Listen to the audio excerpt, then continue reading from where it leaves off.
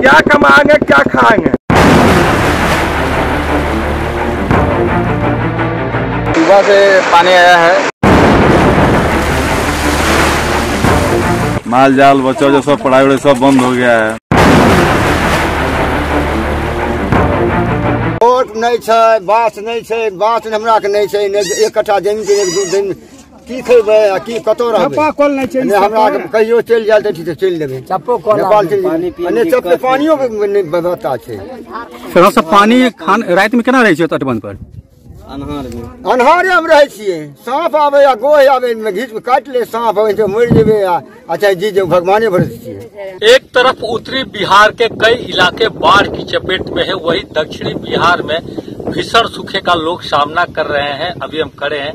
बिहार के बक्सर ज़िले में और यह पूरा जिला जो है वो सुखाड़ की चपेट में अब तक ना तो नहरों में पानी आ पाया है और ना ही बारिश हो रही है, जिसके कारण किसान अब तक अपनी फ़सलों की रोपनी नहीं कर पा रहे हैं और फ़सल पूरी तरह से बर्बाद हो रहा है।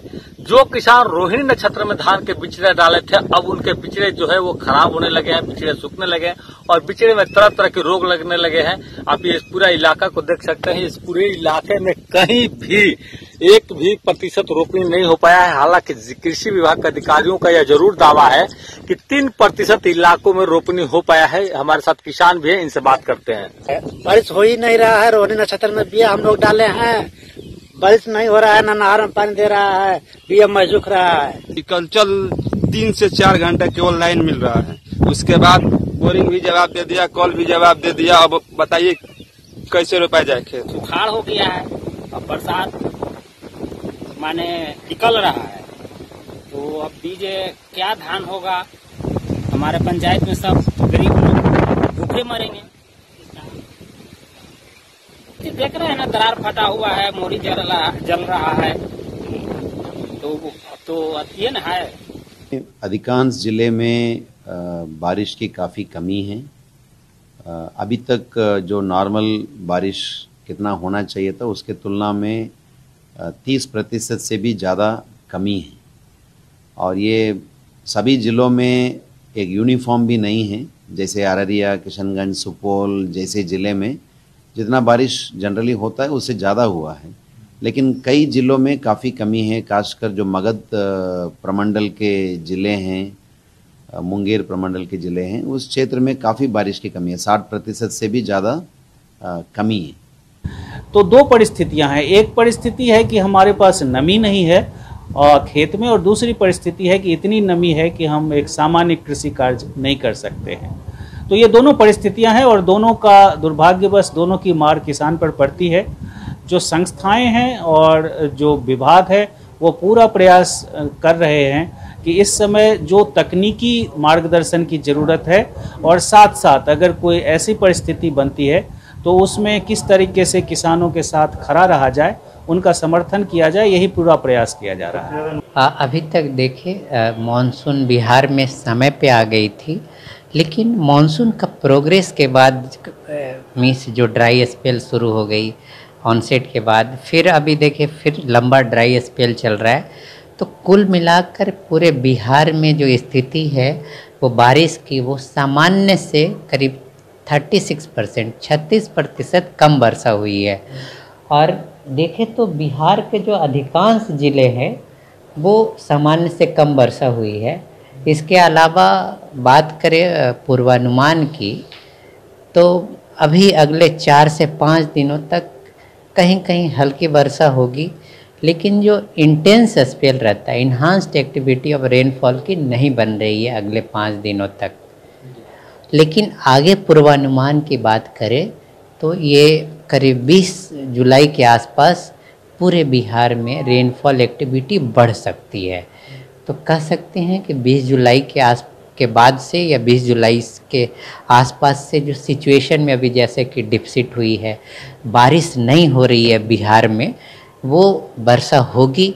और जैसा कि आपने देखा होगा कि अभी मेनली जो बारिश है वो central India western India remaining part में हो रही है but east UP Bihar Jharkhand और वेस्ट बंगाल में कम वर्षा हो रही हुई है।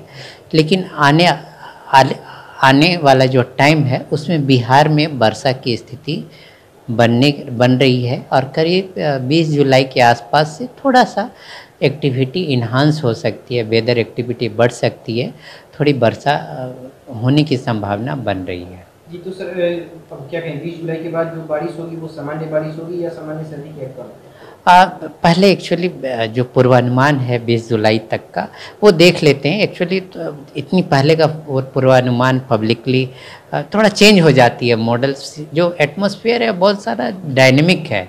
तो अभी थोड़ा सा वेट एंड वॉच करने की ज़रूरत है। दो तीन दिनों बाद हम लोग कंक्रीट फोरकास्ट पे आएँगे। बट आने आगे आने वाले टाइम में थोड़ा सा ऑप्टिमिस्टिक लग रही है कि बारिश थोड़ा बढ़ेगी बिहार में। अगर सवाल करें कि अभी तक कहाँ कहाँ कितने बरसात हुई तो सबसे कम बारिश कहाँ दर्ज की गई है और सबसे अधिक कहाँ जैसे कि आप देखिए कि जो बिहार में बारिश हुई है वो शॉर्टर स्पेल में हुई है। जैसे कि थ्री डेज़ फोर डेज़ में काफ़ी ज़्यादा बारिश हुई है फिर घट जा रही है। कंटिन्यूस बारिश नहीं हुई है। लेकिन आप देखिए, जिला वार बार स्थिति तो सबसे ज़्यादा बारिश दिख रही है वो किशनगंज और अररिया जो डिस्ट्रिक्ट है, वहीं दिख रही है अभी।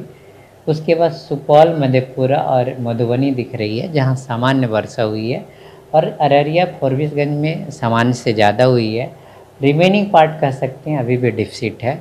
विशेषकर जो साउथ बिहार के ज़िले हैं, वो डिफिसिट में हो रहे हैं। लेकिन जो आने वाले जो टाइम है, उसमें जैसे सोन में भी पानी आने की संभावना बन रही है, जैसे कि अपर सोन में भी बारिश की संभावना बन रही है तो थोड़ी सिचुएशन और इम्प्रूव हो सकती है फर्दर और इस बार भी कमोवेश स्थिति उसी तरह की है। हालाँकि सुखाड़ की स्थिति ज़्यादा खतरनाक है, क्योंकि बिहार के 30 से अधिक जिलों में औसत से कम बारिश हुई है और 20 ज़िले में तो कई ज़िले ऐसे हैं जहाँ 60 प्रतिशत से भी औसत से कम बारिश हुई है। जैसे अरवल, शिवहर और मगध और मुंगेर के जो ज़िले हैं। तो उन सबसे निपटना भी एक बड़ी चुनौती है। ऐसे सरकार के तरफ़ से, जो विभाग के सचिव हैं, उनका दावा है कि हम लोग पूरी कोशिश कर रहे हैं और यदि 10 दिनों में बारिश नहीं हुई तो निश्चित रूप से चुनौती बढ़ेगी। कैमरामैन अशोक के साथ अविनाश ई टीवी भारत, पटना।